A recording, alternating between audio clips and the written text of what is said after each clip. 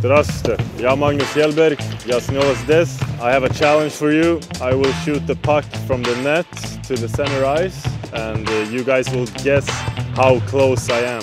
Давай.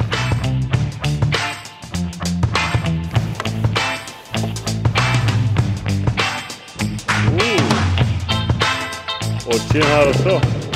Отлично.